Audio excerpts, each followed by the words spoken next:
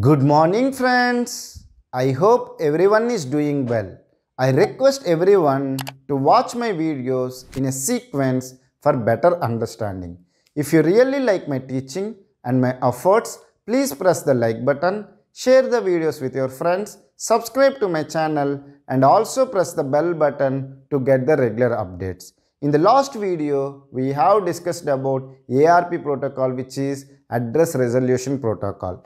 In this video, I want to discuss about RARP protocol which is Reverse Address Resolution Protocol. Those who have watched my earlier video or those who already know about ARP protocol, they can say that ARP protocol is useful for mapping from IP address to MAC address. Meaning is that you know the destination IP address and you don't know the destination MAC address to transfer the packet then ARP protocol will be useful.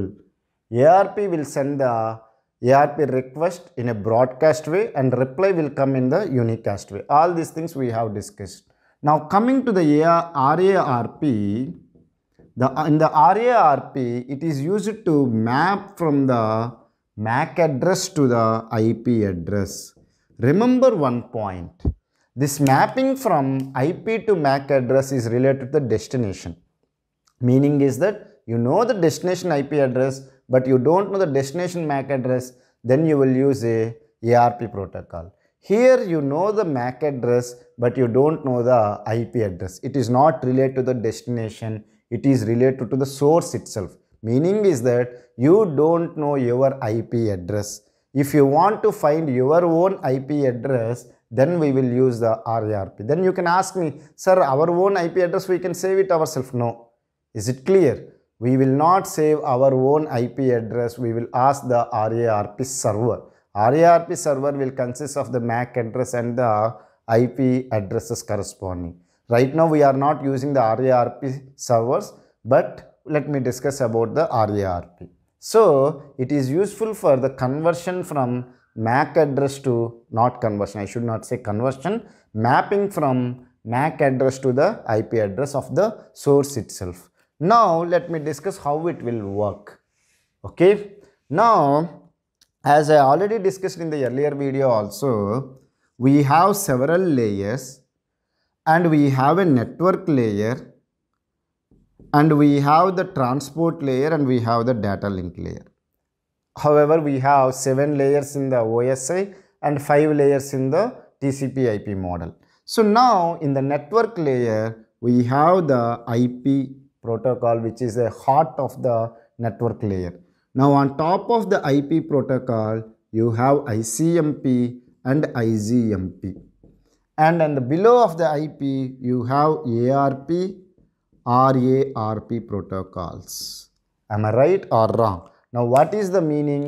If ICMP has to send a packet, it will generate the packet and it will send to IP, then IP will send to the data link layer. So ICMP is taking the support of the IP.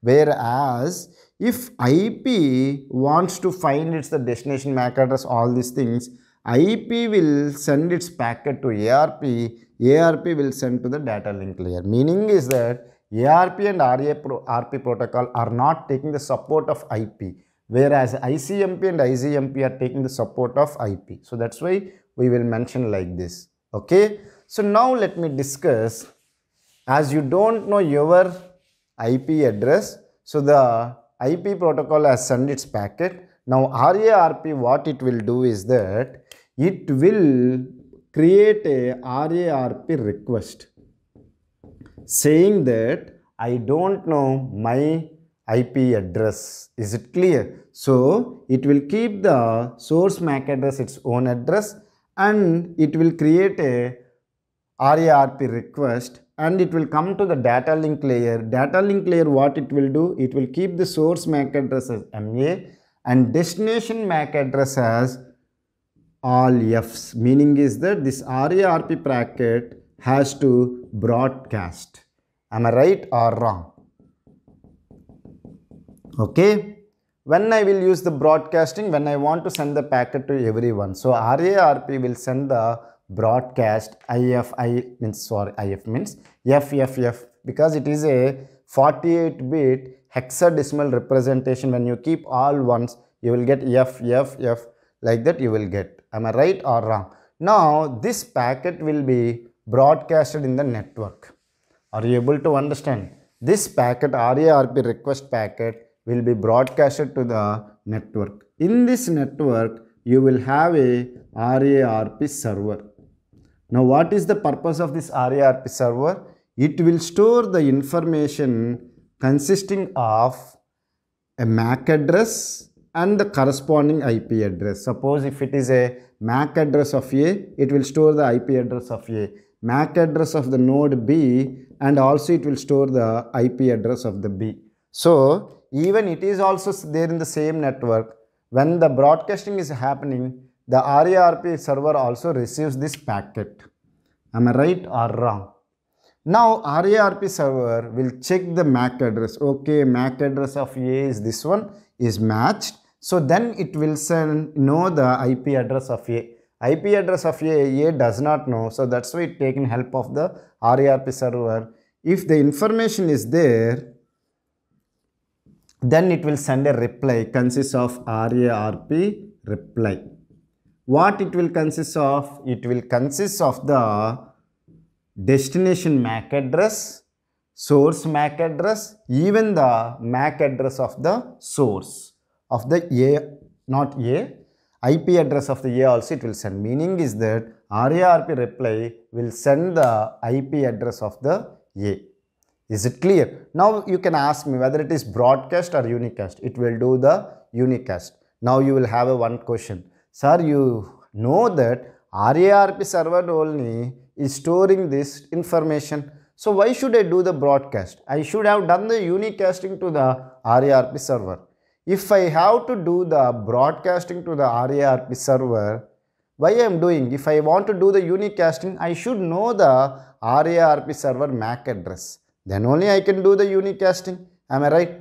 If I can store the RARP server, you can say that sir you store the RARP server MAC address and you do the unicasting. Why you are doing the broadcasting? If I am able to store the RARP server MAC address, I would have saved my IP address. Then I will not use the RARP protocol itself. So as I don't have the capability to store the information, I am not able to store my IP address. So that's why I am using the RARP protocol and RARP server to identify it's my own IP address. Are you able to understand? Now you have a one doubt. Sir, how many RARP servers will be there? As you are saying that the RARP server is there in the network. So, in each network, let's take that you have a network N1, network N2. I want to say that each network will have a RARP server which consists of the information of all the nodes in this networks MAC address and IP addresses. So, each network should have a RARP server. Now, can you tell me whether it is static IP address allocation or dynamic MAC IP address allocation? In this case, it should be static because each node IP address is fixed here. So, you cannot use the dynamic IP address allocation. So, this is the one of the problem in the RARP protocol. One is that each network should have a RARP server and the, whatever the mapping is doing, you are doing the static IP address allocation mechanism.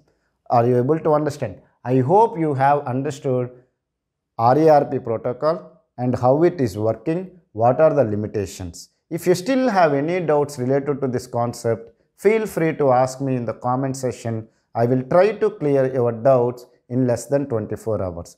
If you really like my teaching and my efforts, please press the like button share the videos with your friends, subscribe to my channel and also press the bell button to get the regular updates. Thank you for watching my video. Have a nice day.